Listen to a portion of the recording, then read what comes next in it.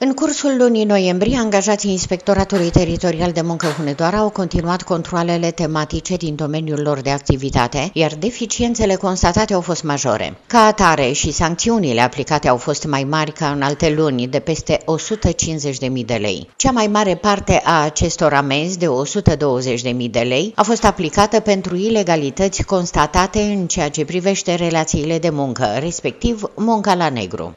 Din păcate a fost o lună cu mai multe sancțiuni față de obicei. Am avut uh, un număr de 143 de controle, atât în domeniul relațiilor de muncă, cât și în domeniul sănătății și securității în muncă.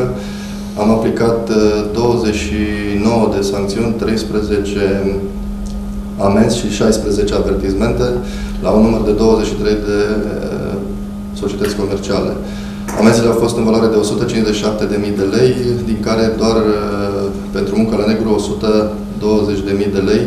O sancțiune mare de aproape 10.000 de lei a fost aplicată și pentru munca la gri, adică situația în care angajatul este plătit cu salariu minim pe economie, iar patronul îi mai acordă acestuia o sumă de bani din buzunarul propriu, aceasta fiind nefiscalizată. Mai mult, în această situație s-a impus angajatorului să facă și formele corecte de angajare. Ca să facem și o glumă, putem să ne și lăudăm cu o amendă pentru muncă subdeclarată, adică acea muncă plătită la alb pe salariu minim pe economie și bani dați din buzunarul patronului pentru diferență, bani care nu se contabilizează, bani care nu se aduc către casa de pensii, către impozitele statului.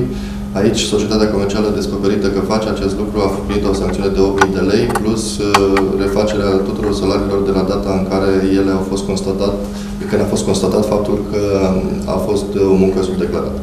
Mai multe pe această temă, dar și alte subiecte interesante puteți afla urmărind după jurnalul de știri emisiunea La Subiect, în care este invitat Adrian Bozdov, inspectorul șef al Inspectoratului Teritorial de Muncă Hunedoara. De asemenea, emisiunea mai poate fi urmărită atât pe pagina de Facebook, cât și pe canalul de YouTube al postului de televiziune 1 TV Deva.